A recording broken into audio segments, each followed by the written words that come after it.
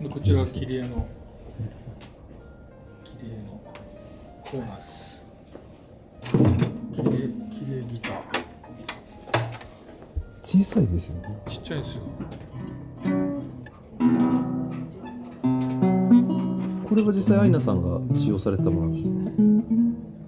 そうだこれね。もともとあのなんだろう。